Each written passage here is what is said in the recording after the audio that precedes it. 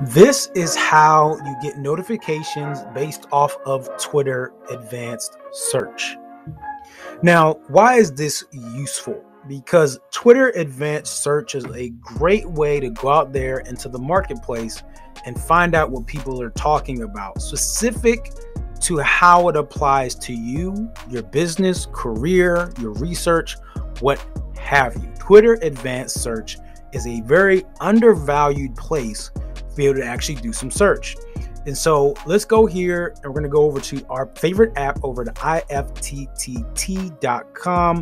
If you've not checked out the other videos, make sure you check out the list for some other great places and spaces and ways to automate things in your life and your business. So um, go here because you can go to the website and just search this under Explore, and you'll be able to find this particular uh, app here. So you go here, hit connect. Of course, I've connected my Twitter account already to this.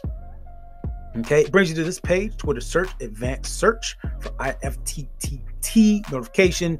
Um, use a Twitter advanced search query to push a note containing a tweet as an IFTTT notification. All right, so what are we going to search for here? Let's say we're going to search for something that is in hot demand Xbox Series X restock.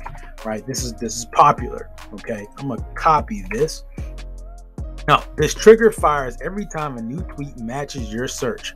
Note limited to 15 tweets per check. Okay, so every time it checks, it'll send you or check for 15 tweets.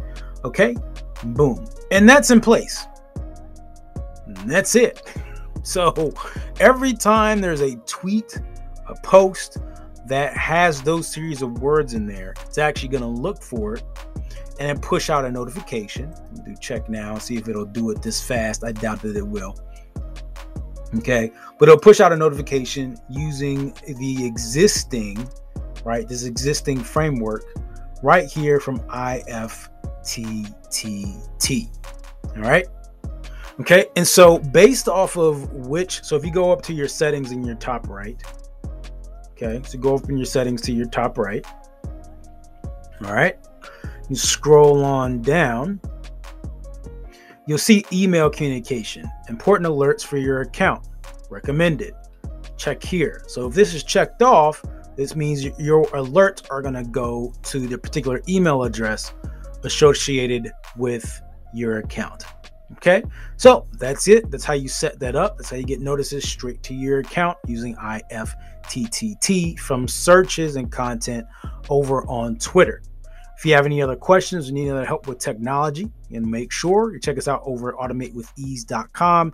Get on the calendar, check out the free training and all of that. And I'll see you in the next video.